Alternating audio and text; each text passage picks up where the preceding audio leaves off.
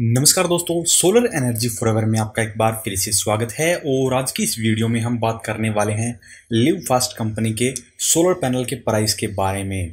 और इस वीडियो में जो भी सोलर पैनल की कीमत बताई जाएगी, वो सभी पोलिक्रिस्टलाइन सोलर पैनल की कीमत होगी और इनके मेनली सात सोलर पैनल आते हैं। यानी कि जो साइज़ है, उनके अनुसार मैं आपको बता रहा हूँ कि इनके अलग अलग मार्केट में आपको सात साइज़ के अंदर आपको इनके सोलर पैनल मिलते हैं। और कौन कौन से साइज़ के सोलर पैनल आपको किस किस कीमत पे मिल सकते हैं, इसी की जानकारी इस वीडियो में देने वाले हैं और कितने वोट का पैनल आप किसके लिए उपयोग में ले सकते हैं।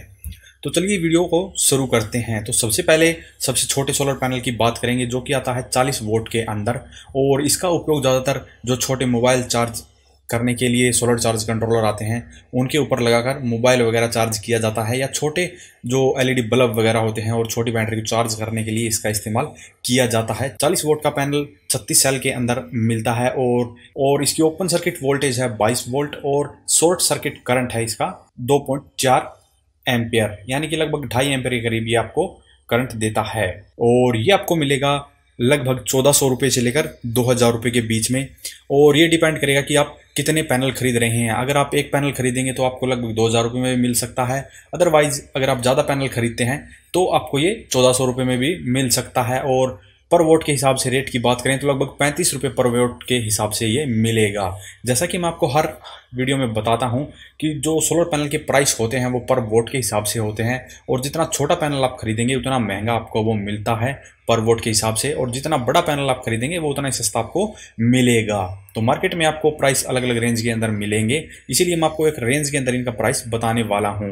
तो कम से कम आपको ये पैंतीस रुपये पर वोट के अंदर मिलेगा और इनका अगला सोलर पैनल है पचास वोट का, ये भी आपको पैंतीस रुपये पर वोट के हिसाब से ही मिलेगा और ये आपको मिलेगा लगभग साढ़े सत्रह सौ रुपये से लेकर तेईस सौ रुपये के बीच में मिल जाएगा। और ये भी छत्तीस सेल के साथ में ही आता है। और इसकी ओपन सर्किट वोल्टेज भी 22 वोल्ट है। लेकिन इसका जो शॉर्ट सर्किट करंट है, वो तीन एम्पेयर से थोड़ा सा ज़्यादा है। तो इसका इस्तेमाल भी मोबाइल चार्जर वगैरह के लिए और जो छोटी बैटरी वगैरह चार्ज करने के लिए कर सकते हैं। और इनका अगला पैनल है पिचहत्तर वोट का, और ये आपको मिलेगा लगभग बत्तीस रुपये पर वोट के हिसाब से। ये इसकी रेंज की बात करें तो ये आपको चौबीस सौ रुपये से लेकर तीन हज़ार रुपये के बीच में मिल जाएगा।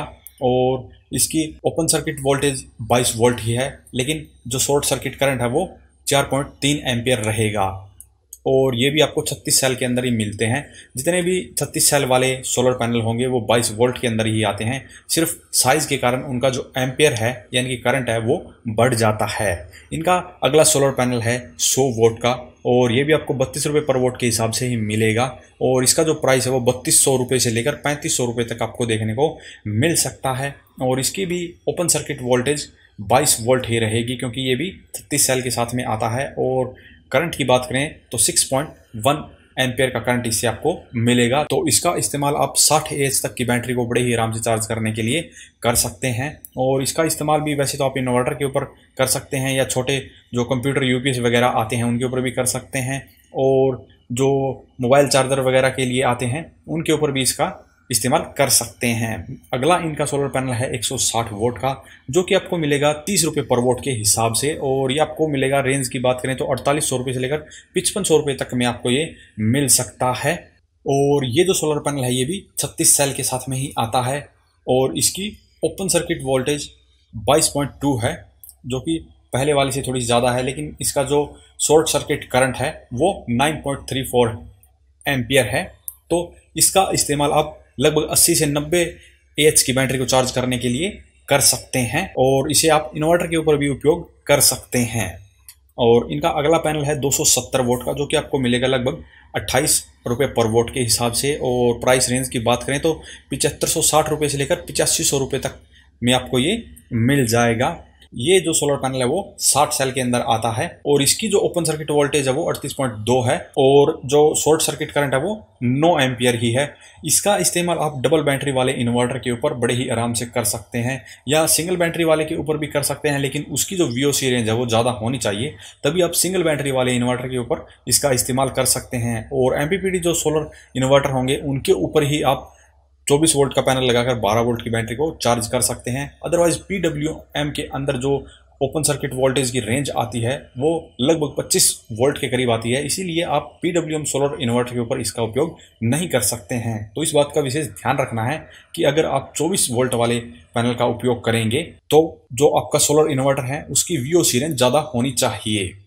और इनका जो लास्ट मॉडल है 325 वोट का, वो आपको मिल जाएगा पच्चीस रुपये पर वोट के हिसाब से। हालाँकि मार्केट में और कई ब्रांड है या और भी सोलर पैनल है जो कि आपको पच्चीस रुपये पर वोट से कम में भी मिल जाते हैं, लेकिन ब्रांड के अनुसार इनका जो प्राइस है वो चेंज हो जाता है।